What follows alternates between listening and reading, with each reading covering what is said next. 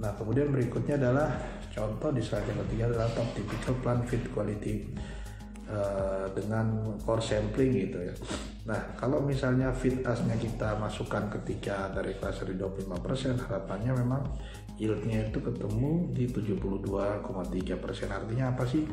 Artinya bahwa kalau misalnya dari 100 ton berarti 72 ton akan uh, menjadi produk, sementara yang 28 ton akan kerinjak atau dibuang ke disposal dan produk as kalau misalnya kita masukkan as dengan 25% maka as menjadi produk yang menjadi produk itu di sekitar 12% sementara yang reject itu di 67% nya nah kalau misalnya kita masukkan fit asnya atau as pada saat sebelum pencucian di 40% itu untuk mencapai produk as di 12% Nah, uh, reject as di 67% berarti yieldnya itu hanya sekitar 46%.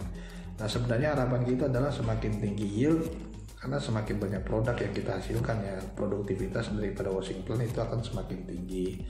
Tapi balik lagi pertimbangan as dan lain-lain itu menjadi uh, pertimbangan khusus sehingga secara setting density teman-teman operator juga uh, apa namanya teman-teman operator juga uh, memiliki standar untuk penyuntikan density tersebut sehingga as yang dihasilkan pada saat produk kemudian yield yang dihasilkan juga e, baik gitu ya. Tidak rendah ya kalau yieldnya rendah berarti produk yang kita hasilkan rendah dan produktivitasnya juga rendah sementara e, asnya juga semakin tinggi gitu ya seperti itu teman-teman.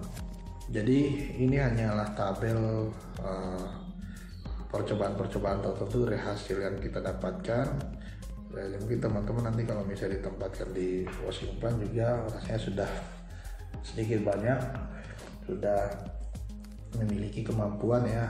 Jadi uh, pada intinya teman-teman di washing plant adalah bagaimana caranya kita membuat yield itu tinggi tetapi dengan as yang sesuai dengan spesifikasi yang kita inginkan gitu atau di 11% nah itu ilmu tersendiri yang memang harus kita pelajari dan kita terapkan sehingga nanti uh, dari sisi cost operasional di Washington juga akan relatif efisien tetapi dengan quality yang kita dapatkan secara maksimal gitu. harapan kita seperti itu. Nah mungkin demikian teman-teman saya menjelaskan tentang washing plan.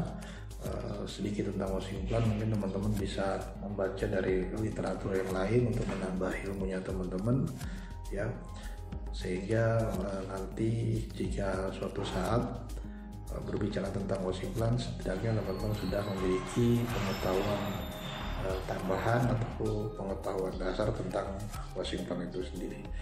Demikian uh, kurang lebihnya saya mohon maaf. Wabillahi taufiq assalamualaikum warahmatullahi wabarakatuh dan semangat pagi